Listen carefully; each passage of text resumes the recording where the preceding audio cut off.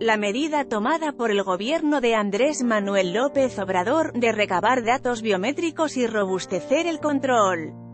En la frontera para los migrantes, no es la solución y únicamente es una política de discurso y palabra, pues. Los sistemas encargados de organizar a los extranjeros en su ingreso a México están colapsados, coinciden activistas a cargo de la caravana de centroamericanos próxima a salir hacia el país. Por eso hay mucha gente quedando fuera de los beneficios que debería dar el mismo gobierno, asegura Irineo Mujica, integrante de la Asociación Pueblo Sin Frontera. Mientras Luis García Villagrán, coordinador del Centro de Dignificación Humana, asegura que los controles y permisos que extiende la Comisión Mexicana de Ayuda a refugiados Comar, han dado abrigo a pandilleros, asesinos e integrantes de grupos delictivos como las Maras. Ambos promotores del siguiente. Contingente a partir desde San Pedro Sula en unos días con destino en el norte, coinciden en que la medida del gobierno es solo discurso, dado que el flujo de migrantes no se puede controlar, se trata de una amenaza velada contra los centroamericanos, están condicionando de más a estas personas.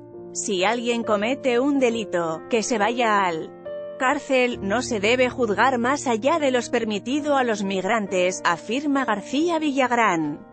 No obstante, anuncia que un grupo de activistas irá a la capital de Honduras para generar un padrón de aquellos que viajen, un registro que, dijo, será el de quienes no deben ni temen nada, pues aquellos que tienen cuentas con la justicia cruzarán por pasos informales. El gobierno mexicano, en voz de Olga Sánchez Cordero, secretaria de Gobernación, señaló que se implementarán medidas y controles de flujo migratorio en la frontera México-Guatemala, como la obtención de huellas dactilares, registros, firmas y entrevistas.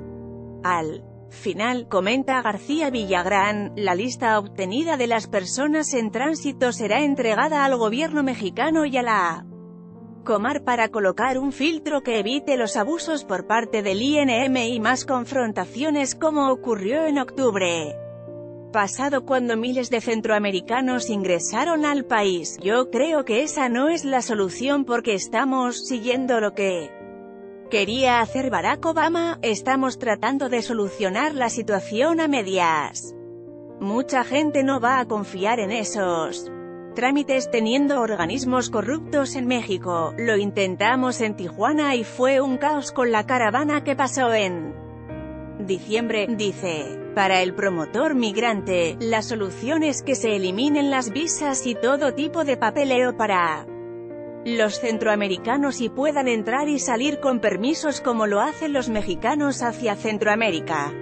Y aunque dice que López Obrador no complace a Estados Unidos, afirma que repite las políticas priistas que tanto criticó, no hay ayuda a los migrantes, solo perjuicios, los hilos de la caravana que partirá a mediados de enero a las 5 de la madrugada de la mañana.